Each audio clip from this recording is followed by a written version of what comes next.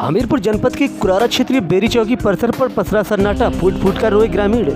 बदल चले के बुधवार को एक अलग ही नज़ारा देखने को मिला, जहाँ जनपद के कुरारा थाना क्षेत्र बेरी गाँव में तैनात चौकी प्रभारी को नए अंदाज में विदाई दी गई।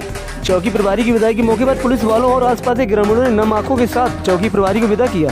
साथ ही कुरारा थाना क्षेत्र के बेरी चौकी प्रभारी विवेक कुमार त्रिपाठी का रविवार की रात में पुलिस अधीक्षक द्वारा दस उप निरीक्षकों के तबादले किए गए, जिसमें बेरी चौकी से प्रभारी विवेक कुमार त्रिपाठी का मौदा थाना के चौली ट्रांसफ़र किया गया जिससे लोगों में अलग ही एक गम दिखाई दिया।